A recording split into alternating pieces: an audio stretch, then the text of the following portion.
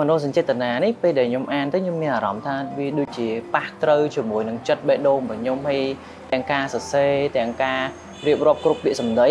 ខ្ញុំមានអារម្មណ៍ថាខ្ញុំអត់នៅម្នាក់ឯងទេដូចជាខ្ញុំមានមនុស្សម្នាក់ទៀតដែលគាត់ធ្លាប់បានឆ្លងកាត់បទពិសោធន៍ដូចគ្នាអញ្ចឹងដែរគាត់ផ្ដល់ជាការលើកទឹកចិត្តឲ្យខ្ញុំអាចក្រោកឈរឡើងបានដោយខ្លួនឯងហើយខ្ញុំអាចរកខ្លួនឯងឃើញដើម្បីបន្តដំណើរនឹងទៅមុខទៀតសម្រាប់សភៅមនុស្សចេតនានេះគឺខ្ញុំចូលចិត្តអាន អាចថាតាំងពីបោះពុំមកគឺខ្ញុំមានសភៅនឹងនៅក្បែរខ្លួនរហូតសារៈសំខាន់នៃសភៅមនុស្សចេតនាទី1អានទៅស្ងប់ទី2ធ្វើឲ្យយើងមានអារម្មណ៍ថាយើងមានកម្លាំងចិត្តក្នុងការតស៊ូមួយបញ្ហាផ្សេងផ្សេងតទៅមុខទៀតបើទោះបីជាយើងកំពុងតែជួបបញ្ហាយើងពេលដែលជួបសភៅមួយនេះទៅយើងមានអារម្មណ៍ថាដូចជាកូនសោមួយទៅចាក់ទ្វារដើម្បីយើងចេញពីបញ្ហាមួយហ្នឹងទោះបីជាដំណោះស្រាយហ្នឹងគេអាចវាតម្លៃថាល្អឬមិនល្អប៉ុន្តែសម្រាប់យើងគឺដំណោះស្រាយមួយដែលល្អសម្រាប់យើង អឺតាមពិតទៅខ្ញុំគិតថាសភៅសឹកល្អក៏ប៉ុន្តែការប៉ះពាល់អារម្មណ៍នៃមនោសញ្ចេតនានៅក្នុងការអានរបស់យើងម្នាក់ម្នាក់ហ្នឹងគឺវារៀងរៀងខ្លួនដូចជាខ្ញុំក្នុងចំណោមស្នាដៃបងសុខច័ន្ទផាយទាំងអស់អ្វីដែលខ្ញុំឃើញប៉ះអារម្មណ៍ត្រូវខ្លាំងអឺដែលជាមិត្តជិតស្និទ្ធដ៏ល្អបំផុតគឺសិភៅមនោសញ្ចេតនាដែលជាស្នាដៃចុងក្រោយរបស់គាត់នឹងមូលហេតុដែលខ្ញុំចូលចិត្តអានសិភៅដោយសារតែខ្ញុំចង់ប្រមូលគំនិតវិជ្ជមានគំនិតលើកទឹកចិត្ត អឺដោយធ្វើយ៉ាងណាឲ្យមានការគ្រប់គ្រាន់នៅក្នុងការអាចរស់ខ្លួនឯងដែលមានភាពវិជ្ជមានចិត្តជាកណ្ដាលអាចឲ្យចិត្តយើងនឹង positive thinking ហើយស្វែងរកសេចក្តីសុខសេចក្តីស្ងប់ជាមួយនឹងការពោលអារម្មណ៍ត្រូវនៅក្នុងសភៅហ្នឹងជាក់ស្ដែងខ្ញុំចូលចិត្តច្រើនប៉ុន្តែបើថាចូលចិត្តខ្លាំងជាងគេហ្នឹងគឺសភៅដែលជួយជំរុញទឹកចិត្តឲ្យខ្ញុំអាចបន្តដំណើរខ្លួនឯងទៅមុខទៀតបានជាក់ស្ដែងដូចជាបងសុកច័ន្ទផលគាត់ទៅសេអញ្ចឹងដោយសារគាត់ យកជីវិតពិតរបស់គាត់មកទៅសេបញ្ចូលជាមួយនឹងការលើកទឹកចិត្តអញ្ចឹងហើយបានធ្វើឲ្យខ្ញុំចូលចិត្តអានសភៅហ្នឹងបងសភៅនេះគឺសភៅកដាលមិនឲ្យយើងប្រឡយតាមវាសនាហើយក៏មិនប្តីផ្ដួលទៅតាមគេហៅថាយថាកម្មពេកដែរអញ្ចឹងបានន័យថាសភៅហ្នឹងគឺយើងចេះរស់នៅក្នុងពេលបច្ចុប្បន្នភាពនឹងឯងអញ្ចឹងខ្ញុំលើកទឹកចិត្តឲ្យអ្នកទាំងអស់គ្នា បើសិនជាអានសភៅអាចថាជ្រើសរើសសភៅណាក៏បានដែរតែ complete សភៅមនោចេតនាយកធ្វើជាមិត្តរបស់អ្នកខ្ញុំជឿជាក់ថាវាអត់ធ្វើឲ្យអ្នកសយត់ទេវាមានតែធ្វើឲ្យអ្នករីករាយ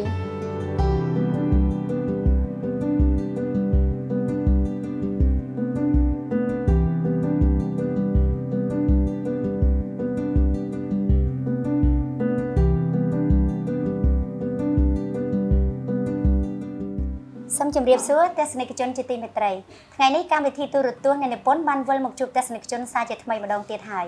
នៅក្នុងថ្ងៃនេះនាងខ្ញុំលក្ខណាបានជួបសម្ភាសជាមួយនឹងបងប្រុសដែលជាអ្នកនិពន្ធដ៏ឆ្នើមនៅក្នុងប្រជាណាចក្រកម្ពុជារបស់យើងចា៎នាងខ្ញុំក៏បានលើកយកសិភៅ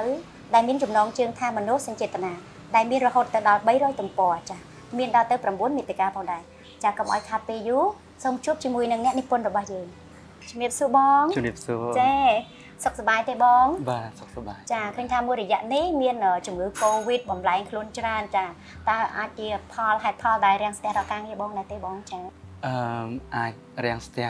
នៅការងាររកស៊ីមួយចំនួនដែរប៉ុន្តែអាផ្នែកនិពន្ធនេះអត់អីទេខ្ញុំមានហេតុផលចម្ងល់ខ្លះខ្ញុំចង់សួរតបងថា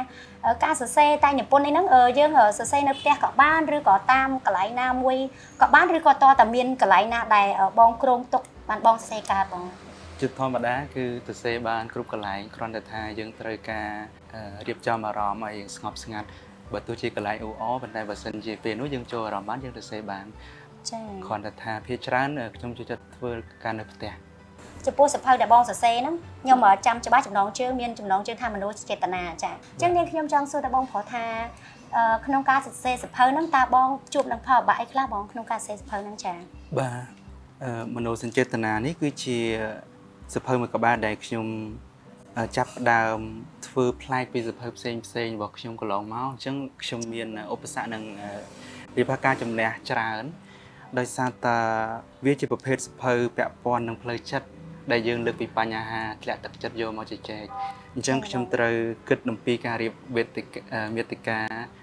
ទៅតាមចម្ពុកឲ្យវា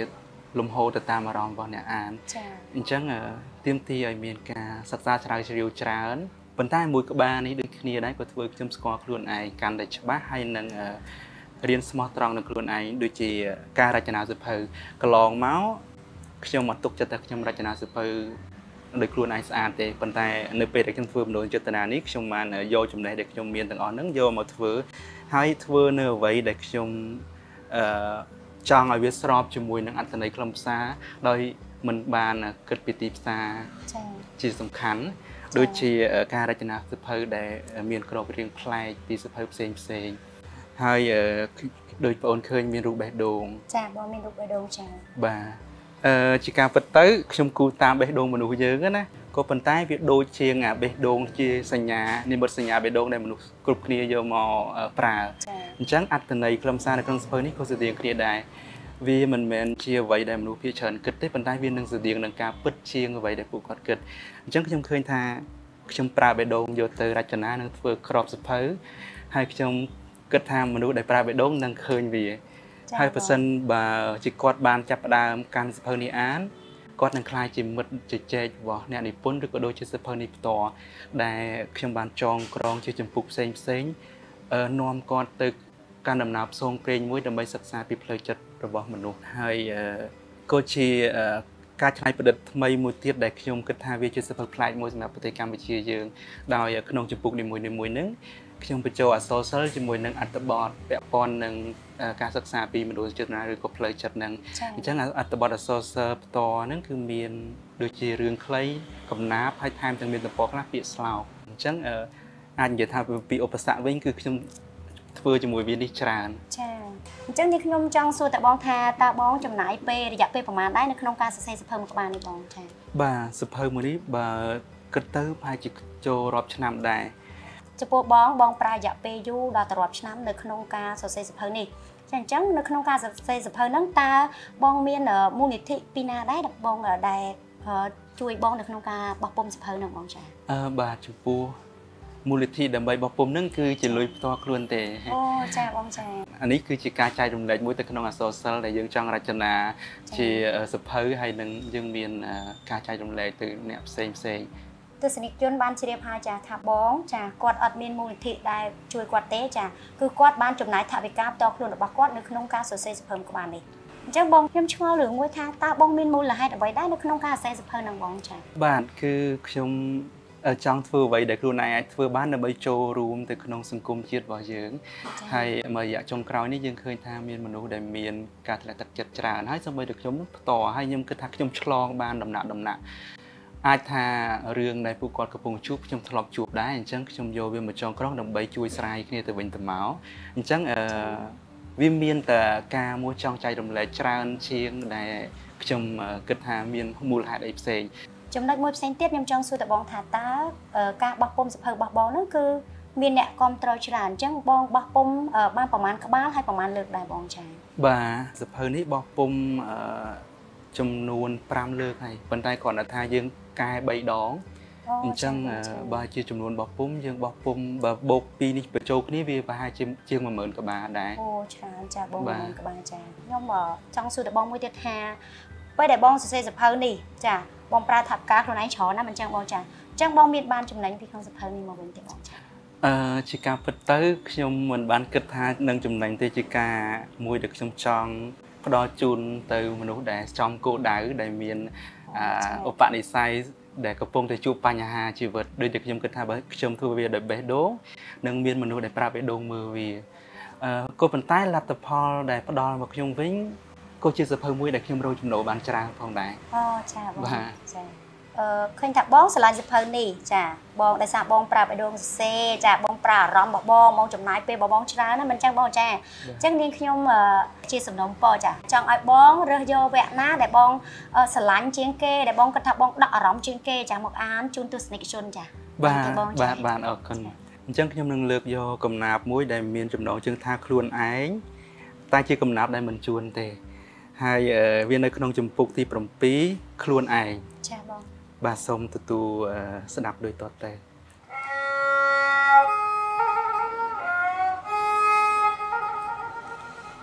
ខ្ញុំជាមនុស្សល្ងង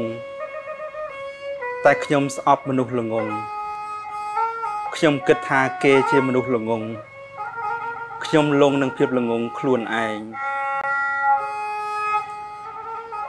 ខ្ញុំជាមនុស្សច្រណែន តែខ្ញុំមិនចង់ប្រកួតប្រជែងខ្ញុំរស់រងទុកចំបែងខ្ញុំឆ្លោះជាមួយនឹងខ្លួនឯងខ្ញុំជាមនុស្សអាត្មានិយមតែខ្ញុំគិតថាគេប្រើប្រាស់ខ្ញុំ ខ្ញុំចេះតែរស់នៅក្នុងគំនុំខ្ញុំគិតតែពីខ្លួនឯង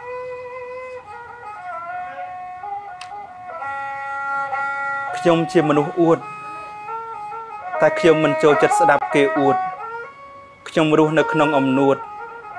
ខ្ញុំឈួតនឹងគំនិតខ្លួនឯងខ្ញុំជាមនុស្សអាក្រក់តែខ្ញុំគិតថាគេអាក្រក់ខ្ញុំរស់នៅក្នុងភាពកុហកខ្ញុំមិនព្រមស្គាល់ខ្លួនឯងខ្ញុំជាមនុស្សគួរឲ្យអាណិត តែខ្ញុំមិនចង់ឲ្យគេអាណិត ខ្ញុំចង់រស់ក្បត់ការពិត ខ្ញុំសង្វេគជីវិតខ្លួនឯងចាបងអូក្នុងការអានកំណាព្យរបស់បង គឺអត្តន័យជ្រាលជ្រៅមែនតើបងខ្ញុំស្រឡាញ់ពេញចិត្តត្រង់ចំណុចអឺខ្ញុំជាមនុស្សអួតប៉ុន្តែខ្ញុំស្អប់អ្នកអួតចាខ្ញុំ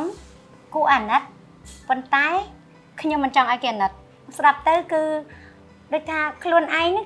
គូអាណិតហេតុអីបានមិនចង់ឲ្យគេអាណិតខ្ញុំចង់ឲ្យបងជួយបន្ថែមអត្តន័យទៅទស្សនិកជនដើម្បីឲ្យគាត់កាន់តែជ្រាបច្បាស់ចាបងជួយបន្ថែមអត្តន័យផងបងចាបាទអរគុណដោយដែលបានជំរាបតាំងពីមុនហ្នឹងថាសភៅមួយនេះគឺជាសភៅដែលខ្ញុំ challenge នឹងខ្លួនឯងច្រើនហើយខ្ញុំត្រូវតែស្មោះត្រង់ជាមួយខ្លួនឯងហើយបញ្ហានឹងមនុស្សគឺយើងឃើញថាយើងពួកយើងអាចដែរស្មោះត្រង់នឹងខ្លួនឯងទេ អញ្ចឹងនៅក្នុងចម្ពោះទី7និយាយអំពីខ្លួនឯងហ្នឹងគឺវាដំណើរផ្សងព្រេងនៅក្នុងសភៅដែលយើងជជែកចំពីការតាក់ទឹកចិត្តហ្នឹងគឺវាមកដល់ខ្លួនឯងហើយយើងមករកឃើញថារាល់បញ្ហានៅក្នុងជីវិតគឺនៅក្នុងខ្លួនអញ្ចឹងយើងក៏ចាប់ផ្ដើមសិក្សាអំពីវាដើម្បីព្រោះខ្លួនឯងនឹងគឺជាបញ្ហាក៏ជាច្រកចេញដែរ ទើបខ្ញុំមានកំណាព្យមួយជាមួយចំណងជើងថាខ្លួនឯងនេះ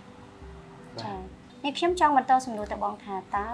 បងមានគម្រោងរបស់ពុំសិភៅឬក៏ស្នាដៃអ្វីផ្សេងទៀតទេបងចា៎